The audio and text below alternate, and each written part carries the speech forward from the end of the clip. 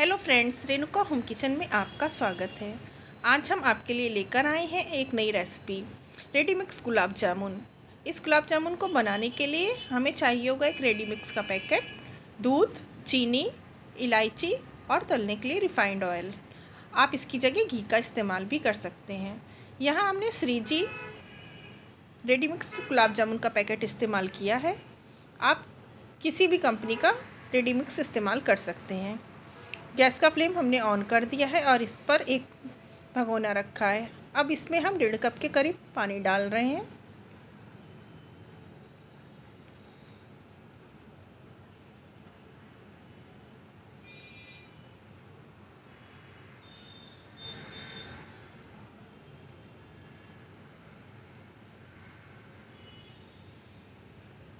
अब इसमें हम एक कप चीनी डालेंगे।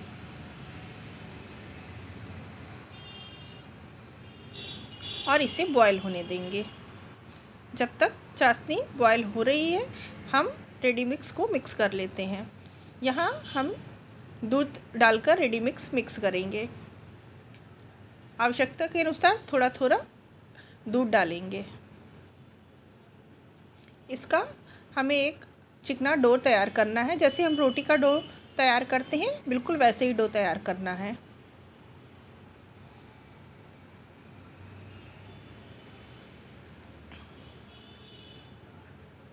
अच्छे से मसलते हुए इसका डो हम तैयार करेंगे।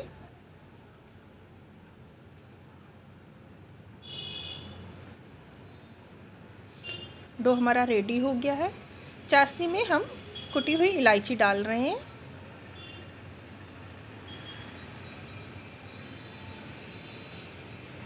अब इसमें हम केसर डाल रहे हैं। केसर से बहुत अच्छा कलर और खुशबू दोनों आती है।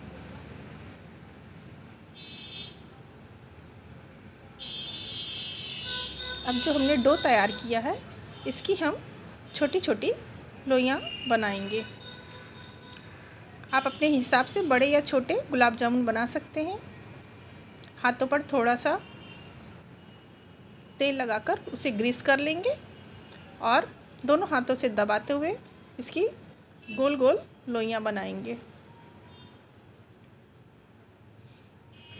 इसे बहुत ही चिकना बनाना है, ताकि इसमें क्रैक ना आने पाए। अगर क्रैक आएँगे तो आपके गुलाब जामुन बिल्कुल अच्छे नहीं बनेंगे। आप इसे जितना चिकना कर सकेंगे, उतना ही गुलाब जामुन स्वादिष्ट बनेगा।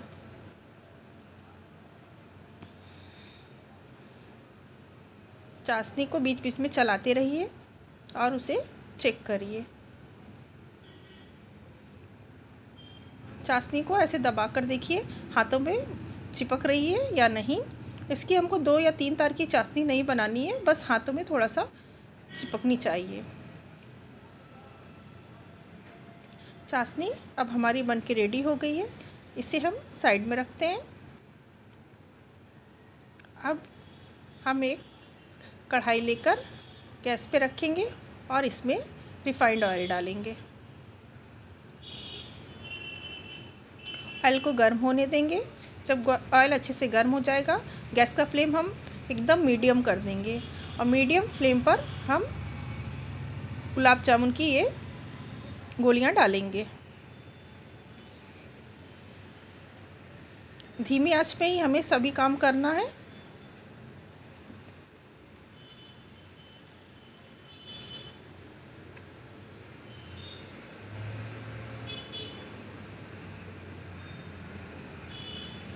जब गोलियाँ नीचे से अच्छे से सिक जाएँगी, तब साइड से ऑयल को हम हिलाएँगे ताकि हर तरफ़ से गोलियाँ सिक जाएँ। डायरेक्ट गोलियों के ऊपर हम कलछी नहीं चलाएँगे। इससे गुलाब जामुन टूटने का डर रहेगा। जब सब तरफ़ से गुलाब जामुन सिक जाएँगे तो इसे हम एक जाली में निकाल लेंगे ताकि एक्स्ट्रा ऑयल निकल जाए।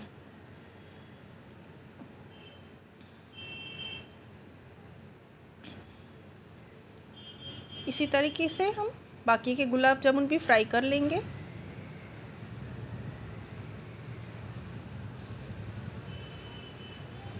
बहुत ज़्यादा गुलाब जामुन एक बार में मत डालिए।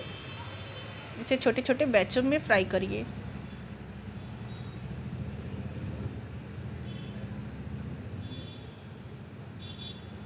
अब जो हमने चाशनी तैयार करके रखी थी, उसमें ये गुलाब जामुन डालेंगे। चाशनी पूरी तरह से ठंडी नहीं हुई है, ये हल्की गुनगुनी है, इसमें हम गुलाब जामुन डाल रहे हैं। बाकी के गुलाब जामुन हमारे फ्राई हो रहे हैं, इन्हें भी हम जाली में निकाल रहे हैं।